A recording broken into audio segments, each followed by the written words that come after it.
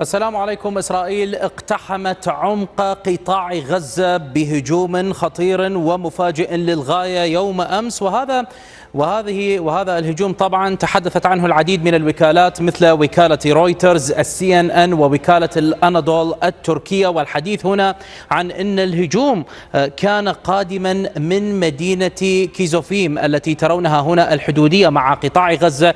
وبأن عملية الاستهداف كانت قادمة والهجوم باتجاه خاصرة قطاع غزة. على هذه المنطقة التي تعتبر مسافتها قصيرة للغاية مقارنة بالمسافات الأخرى الموجودة طبعا في قطاع غزة في هجوم مربك في هجوم غير معلن أبدا. وإذا ما اقتربنا من هذه المنطقة لكي نأخذ هذه التفاصيل بشكل أكبر ونفهم تماما ما الذي جرى من خلال هذا الهجوم. ونتوقف هنا طبعا فإن عملية الهجوم كما تحدثنا بأنها جاءت من هذه البلدة الإسرائيلية كيزوفيم طبعا واستخدمت فيها جرافتين إسرائيلية بالإضافة إلى دبابات ميركافا الإسرائيلية طبعا التي كانت قد تحشدت واستهدفت هذه المنطقة. وكما نلاحظ بأن المنطقة التي قد تم فيها التقدم كما نلاحظ هذه المنطقة تحديدا. ودعني ودعوني أشير لكم على هذه المنطقة. ستجدها بأنها منطقة مفتوحة تماما ليست هنالك أي بنايات أو أي مبان من الممكن أن تعرقل هذا التقدم وتشكل خطرا على الرتل الإسرائيلي.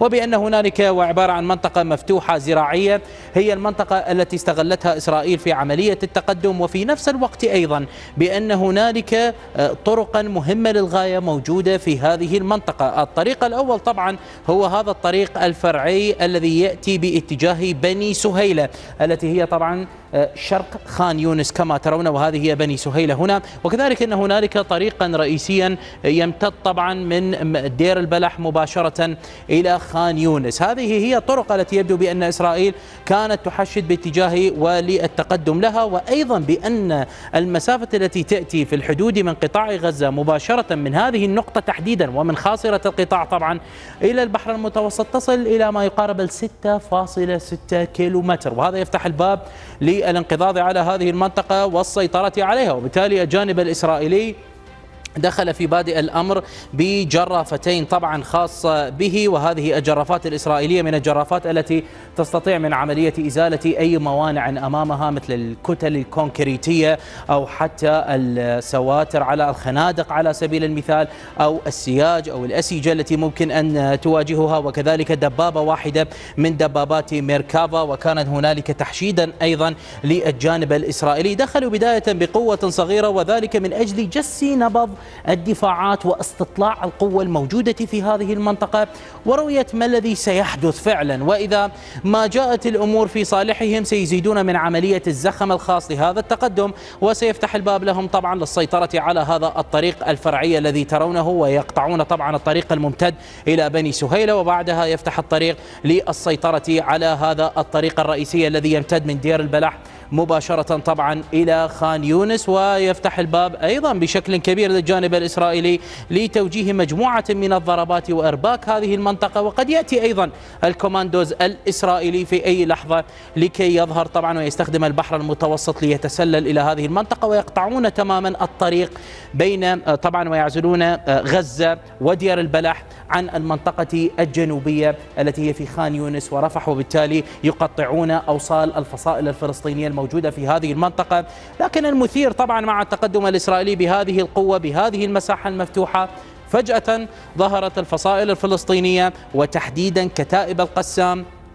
في مواجهة هذه الجرافات وهذه الدبابة بمجرد ما دخلوا بأمتار بسيطة إلى هذه المنطقة وتمكنت طبعا كتائب القسام من ضرب هذه الجرافات الإسرائيلية وكذلك ضربوا الدبابة الإسرائيلية وأدى هذا الأمر باعتراف إسرائيلي واضح من المتحدث باسم الجيش الإسرائيلي إلى قتل جندي إسرائيلي واحد وجرح ثلاثة كذلك وتركوا طبعا معداتهم وانسحبوا إلى الداخل وبقيت طبعا الجانب الإسرائيلي والقوة قد قد انسحبت من مسألة التحشيدات الخاصة بها وطبعا هذا فتح الباب على العديد من الأمور بالنسبة للجانب الإسرائيلي وحقيقة واضحة بأنهم رغم كل القصف لهذه المناطق لمدة 17 يوما طبعا إلى يوم أمس هي 16 يوما من ضربات واستهدافات كبيرة للغاية على البنى التحتية لحركة حماس وحركة الجهاد الإسلامي واغتيالهم لعدد من القادة إلا أن في نهاية المطاف ظهرت الفصائل الفلسطينية في عملية الرد الذي نتحدث عنه بهذا الشكل. وأفشلوا عملية جس النبض أو التقدم الذي قامت به إسرائيل. وطبعا أيضا يجب أن لا ننسى الحصار المطبق على هذه المنطقة. لا وقود لا غذاء لا أدوية نزوح للناس ارتباك للوضع إلا أن الفصائل الفلسطينية واضح بأنها مستعدة للقتال على كل متر من 360 كيلو مترا في قطاع غزة بأكملها. هذا ما أصبح واضحا للجانب الإسرائيلي وبالتالي هي أيضا تفتح الباب للجانب الإسرائيلي لدراسة ما جرى ودراسة كيف أن الفصائل الفلسطينية مستعدة لعملية الدفاع الخاصة بهم ولإيجاد ثغرات أكبر في هذا المحور الرئيسي الذي يعتبر نقطة مهمة للجانب الإسرائيلي لكي يسيطر عليها ويقطع أوصال الفصائل الفلسطينية. كما تحدثنا طبعا الجانب الإسرائيلي ليلة يوم أمس بعد كل ما جرى وجهوا ضربات عنيفة للغاية. ليلة يوم أمس هي الليلة الأعنف على الإطلاق على مدينة غزة التي تأتي طبعا إلى شمال قطاع غزة وعدد من المصادر المهمة مثل إرم نيوز وكذلك مثل الصباح هي التي نشرت مقاطع هذه الضربات التي سترونها أمامكم الآن. ضربات كبيرة للغاية على هذه المنطقة كما تلاحظون وتجد بأن فعلا هذه الضربات لم تكن سهلة أبدا. حتى الأوساط والأحاديث وما نقل من تعليقات وغيرها من الموجودين طبعا في قطاع غزة قالوا بأن ليلة يوم أمس هي كانت الليلة الأعنف طبعا على الإطلاق وأيضا في نفس الوقت كما نلاحظ هذه بعض الصور لهذه الانفجارات التي جاءت على قطاع غزة. ضربات عنيفة للغاية ليلة يوم أمس. لا بل أن أيضا هذا الأمر وهذه الضربات هي جاءت بعد 48 ساعة من قصاصات خاصة بجيش الدفاع الإسرائيلي. نشرها طبعا في قطاع غزة تحديدا في مدينة غزة وطلبوا من الجميع أن يخلوا المنطقة طبعا وقالوا بأن وجودكم شمالي وادي غزة يعرض حياتكم للخطر. وبالتالي هم سيعتبرون أي شخص موجود وإن كان مدنيا في تلك المنطقة في غزة سيعتبرونه ببساطة بأنه جزء من حركة حماس أو حركة الجهاد الإسلامي أو كتائب القسام.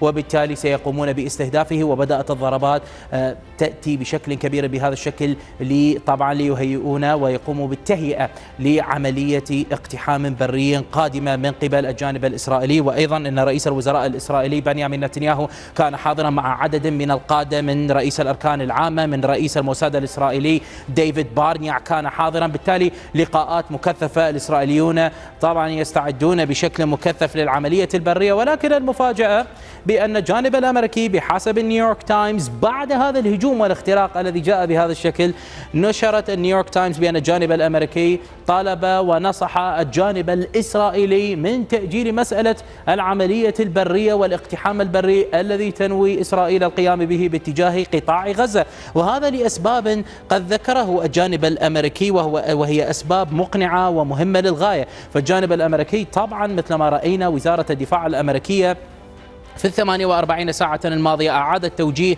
دوايت آيزنهاور حاملة الطائرات الأمريكية باتجاه قيادة أو منطقة قيادة القيادة المركزية الأمريكية باتجاه بحر العرب وخليج عمان وكذلك أضافوا قوة إضافية من المشاة الأمريكية أو القوات الإضافية الأمريكية وكذلك يريدون نشر كتائبا من المنظومات الباتريوت ومنظومات الثاد في نفس الوقت. والسبب أن طبعا الولايات المتحدة قالت لإسرائيل بأننا نريد ببساطة منكم أن تنتظروا وتتريثوا في مسألة التقدم لقطاع غزة لأنكم إن تقدمتم الآن فإن هنالك مؤشرات خطيرة بأننا سنكون أمام حرب إقليمية بسبب أن مؤشرات الحرب الإقليمية حاضرة على الأرض بالنسبة للولايات المتحدة الأمريكية وحتى إسرائيل مما تفعله الفصائل المسلحة الموجودة في العراق من استهدافات على القواعد العراقية التي يتواجد فيها مستشاري التحالف الدولي أو حتى القواعد التي يتواجد فيها الأمريكيون أيضا في سوريا والهجوم الخطير الذي رأيناه مؤخرا. مؤخرا من جماعة الحوثي باتجاه البحر الأحمر باتجاه طبعا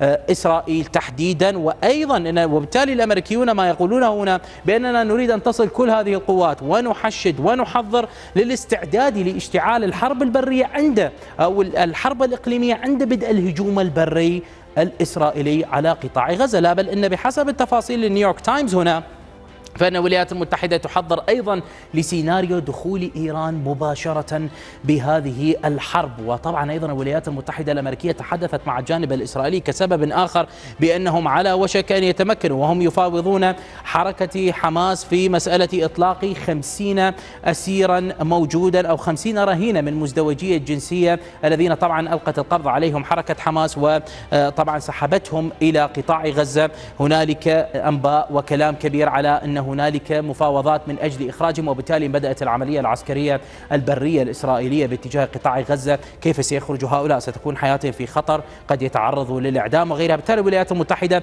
تضع العديد من الحسابات ومسألة الحرب الإقليمية في المنطقة مع بدء إسرائيل بعملها البري في قطاع غزة. هي واردة وواردة للغاية ومؤشراتها خطيرة والعديد من الخبراء الأمريكيين مثل هال براندز هذا الرجل أحد أهم الكتاب على بلومبرج وكذلك أن هذا الرجل هو أستاذ في مركز هنري كيسنجر في كلية الدراسات الدولية في جامعة جون هوبكنز الأمريكية. كان قد كتب مؤخرا على بلومبرج بأن الولايات المتحدة الأمريكية عليها التصعيد من أجل ردع التصعيد الذي يأتي باتجاهها ولكن الأمور ستتصاعد من وجهة نظره وأن المنطقة ستلتهب وستتصاعد بشكل خطير.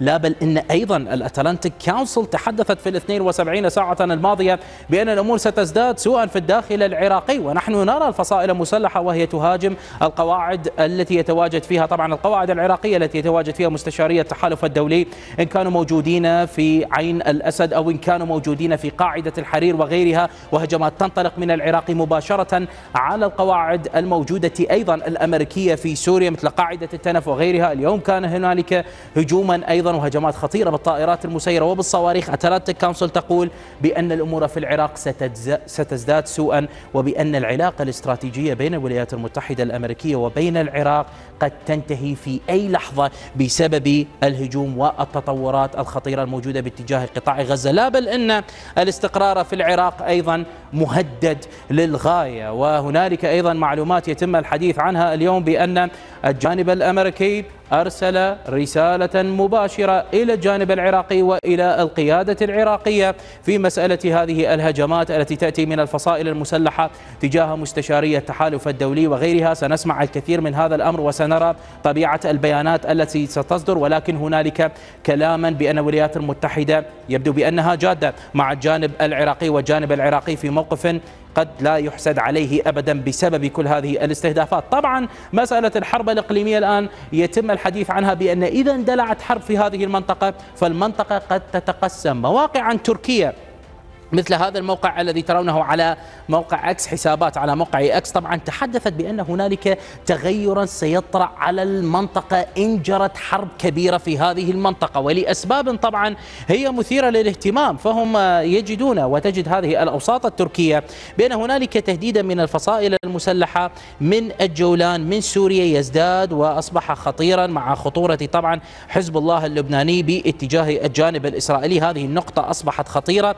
وأيضا في نفس الوقت بأن هنالك محافظة السويداء التي فيها اعتصامات وتظاهرات وخرجت عن سيطرة النظام السوري وبأن هنالك اتصالات أمريكية من أجل طبعا جعل هذه المنطقة عبارة عن منطقة آمنة ويجب أن ننتبه بأن هنالك قاعدة التنف منطقة ال 55 كيلو التي تتواجد فيها القوات الأمريكية المهددة طبعا والتي اليوم استهدفت أيضا بالطائرات المسيرة هي قريبة من محافظة السويداء. وأيضا في نفس الوقت أن هنالك أسلحة مستمرة للفصائل المسلحة تذهب وتهرب من الداخل العراقي إلى الداخل السوري وبأن الأطراف الأمريكية والقواعد الأمريكية إلى شرق نهر الفرات أو قوات سوريا الديمقراطية دائما ما تستهدف من قبل هذه الفصائل. هنالك ضغط على قسد بشكل كبير للغاية وبالتالي الحديث هنا أن الحرب من الممكن أن تغير الخارطة وأن الولايات المتحدة الأمريكية قد تعمل على ممر اسمه ممر ديفيد وهذا الممر أن تسيطر وأن تتم السيطرة على الجولان ويخلقون طريقا يمتد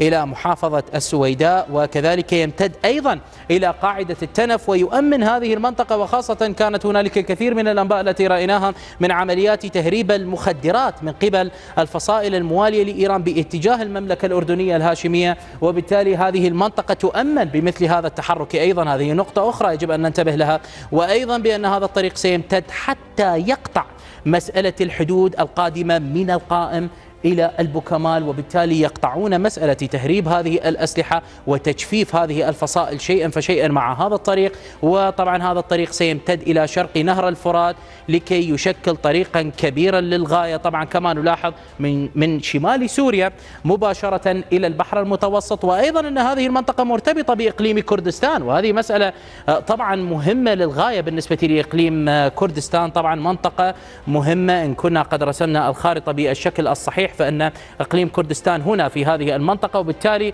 الطريق ممتد من الإقليم إلى البحر المتوسط وبالتالي هنا هذه المناطق إن كان هنالك ضغطا مثلا من تركيا على الكرد من الإيرانيين على الكرد أو حتى من الأتراك على الكردي في العراق فإن هذا الطريق سيكون مفتوحا وتتغير خارطة المنطقة وطبعا النظام السوري في خطر كبير للغاية وقد ينهار النظام السوري بسبب هذا التحول وهذه الخارطة وهذه الخارطة باللغة التركية كما نشرت بالنسبة لطبيعة التقسيم الذي يهدفون له وليس ولا أقصد التقسيم أقصد هنا الممر الآمن الذي سيهدف لحماية حلفاء الولايات المتحدة الأمريكية مصالح الولايات المتحدة الأمريكية بشكل عام. بالتالي نحن أمام ظروف كبيرة للغاية نظريات كثيرة حرب قادمة لا محالة بحسب الخبراء الأمريكيين وبحسب ما تحضر له الولايات المتحدة الأمريكية في مسرح العمليات. ننتظر ونرى ما الذي سيجري